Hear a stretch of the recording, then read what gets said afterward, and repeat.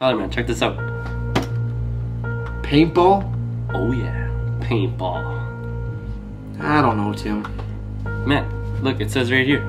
It's like, I don't know, two days. Uh, super cheap. Uh, they got everything there: fire, guns, booze, free paintballs. Man, it's a win-win. How could it get any better?